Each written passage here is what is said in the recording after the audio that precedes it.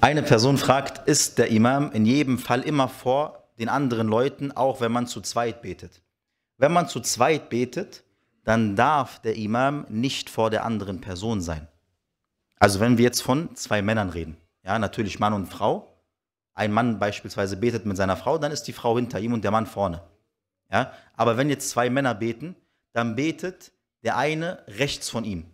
Ja, dann betet der eine rechts von ihm. Aber er darf nicht hinter ihm beten.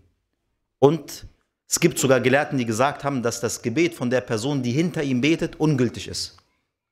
Sondern sie beten was? Nebeneinander. Sie können auch etwas versetzt sein, also wenn wir jetzt von ein paar Zentimetern reden, das ist kein Problem, aber dass der Mann hinter dem anderen Mann betet, ja, das ist nicht erlaubt. Und im Übrigen, das betrifft nicht nur das Gebet von Zweien. Das sieht man häufig und natürlich gibt es hier eine Meinungsverschiedenheit.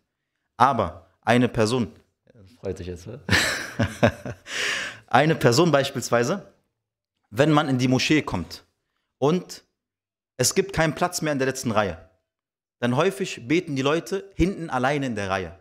Ja? Und das ist eine Sache, die man nicht machen soll.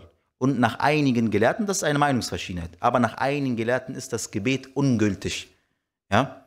Denn der Prophet wasallam sagt, kein Gebet für den, der sozusagen hinter der Reihe betet. Also der allein hinter der Reihe betet. Aber wie gesagt, das ist eine Meinungsverschiedenheit und hier gab es natürlich viele Gelehrte, welche gesagt haben, nein, das Gebet ist natürlich gültig. Wa alaikum salam Ja? Aber hinsichtlich den Männern, wenn sie beten, so ist das Beste, dass der Imam vorne steht.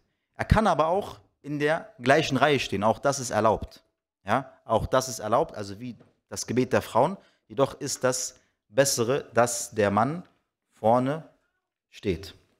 ذاكر الأصحاب.